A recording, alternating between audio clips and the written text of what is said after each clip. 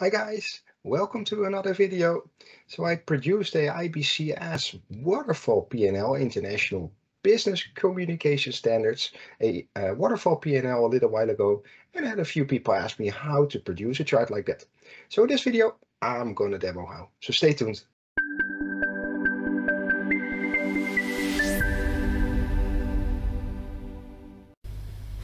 So I'm starting off here in Power Query and I have the uh, table that contains the P&L data. So I have a few items. Uh, I've categorized the item so it's either profit, it's a loss account or it's some kind of subtotal. And then I have the actual amounts, the values. Now what we need to include here is a sorting order. So the way to do that, an easy way to do that is just to include a uh, index column. Start this off from 1 and let's call this indeed sort order. Okay. There we go. So now uh, this is all we need to do here in Power Query. So we're just going to load this data into Power BI. So the actual trick to this here chart is that it is actually a stacked bar chart. So all of these uh, bars actually are two bars. And what I managed to do, obviously, is I just hit the bar on the left hand side. So there's actually all sorts of bars here that I hit. So we have to make sure we turn this into a stacked chart. So for every item, for maintenance, we need a second record which contains the value for the hidden bar. The same goes for purchases, of course. We need a value that contains the, uh, uh, we need a, a record that contains the value for the hidden bar. So that's what we're gonna go ahead and do. So in order to achieve a, uh, to obtain a second uh, a row for every item, we're just going to take a copy of, the, we're just going to take a copy of this table. So I'm going to go ahead and enter new table.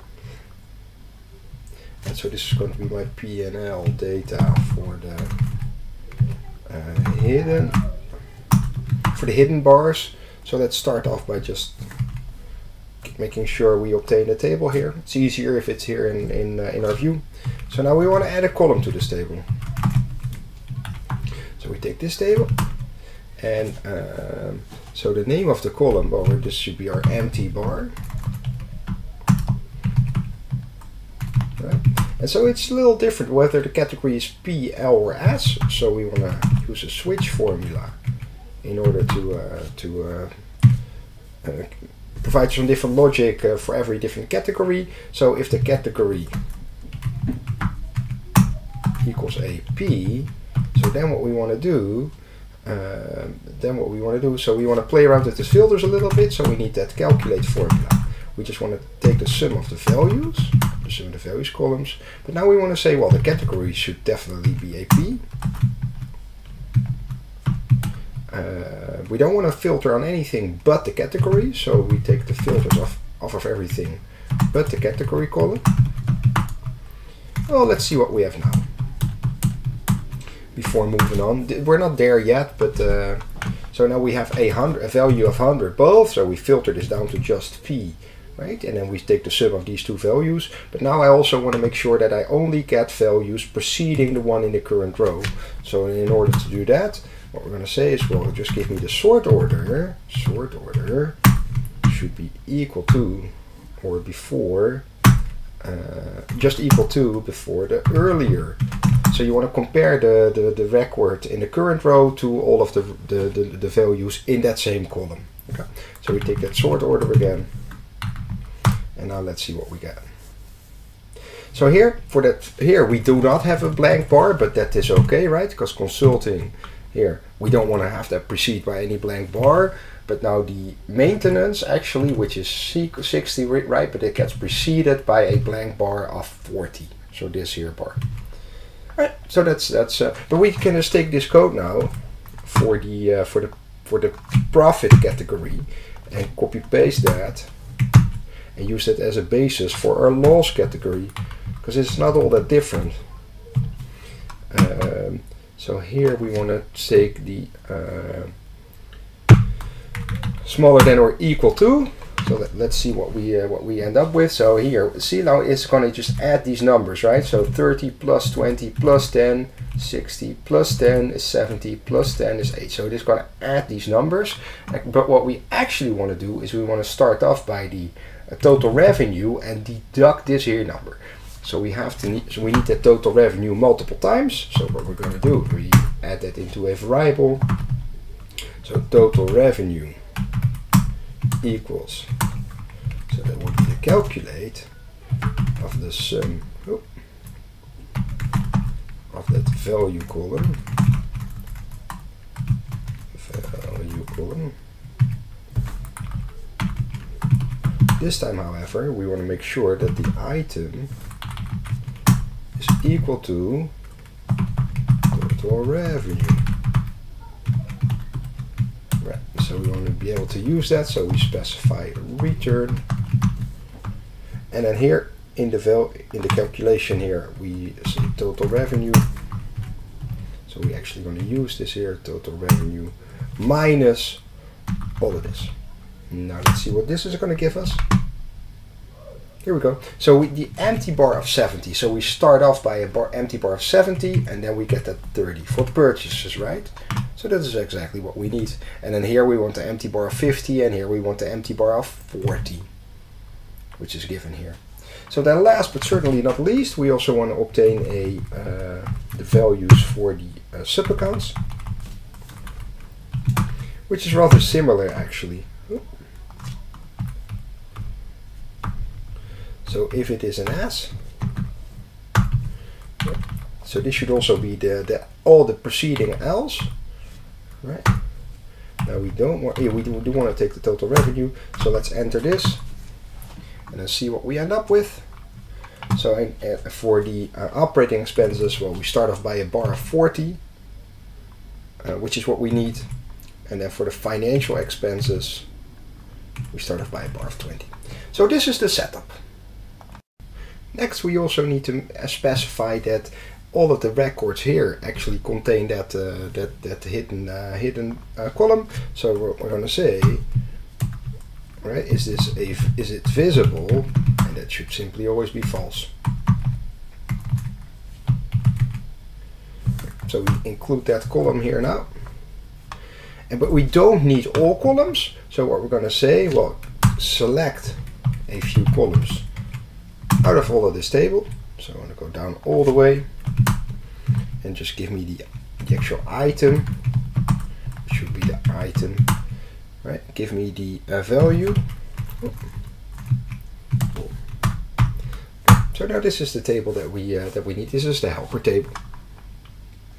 Then we're going to continue and work on a uh, on, on the first table because we we, ne we need to make sure that the first the first table only also holds these columns. So what we're actually going to do is is add a new table, and we're going to call this table the uh, the visible uh, the visible bars, PNL underscore visible uh, data visible so you just want to select a few columns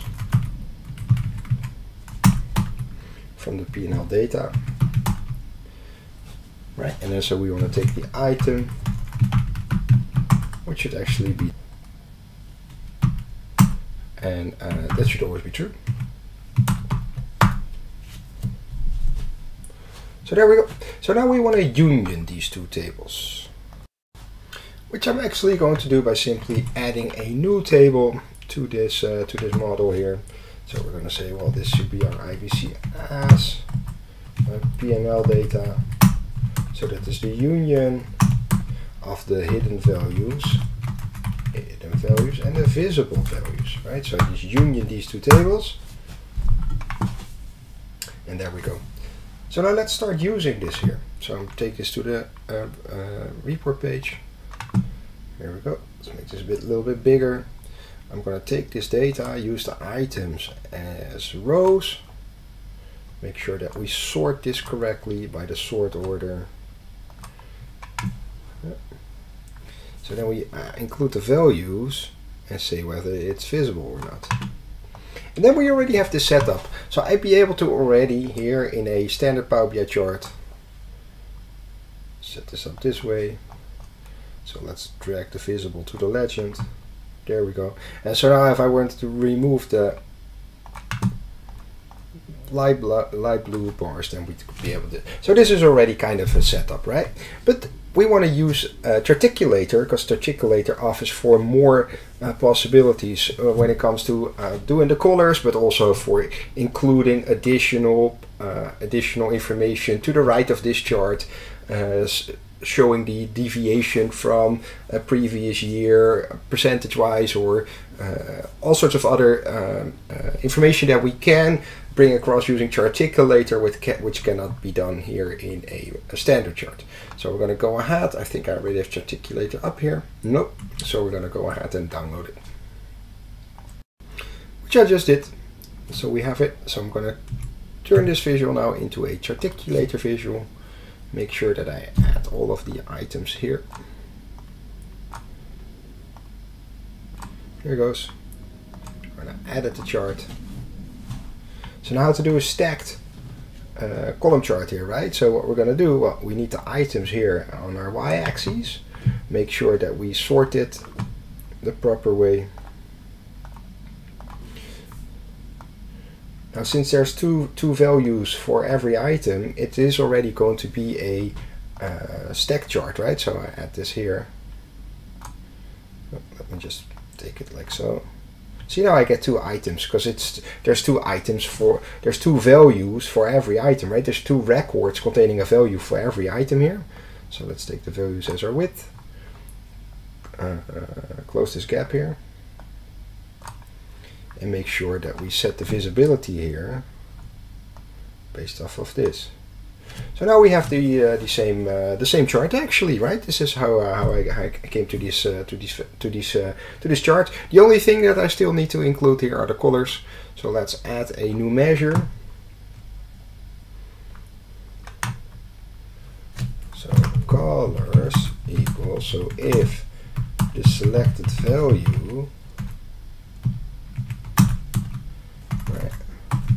of the uh, item yeah if that is in a list of values so if that is in uh, total revenue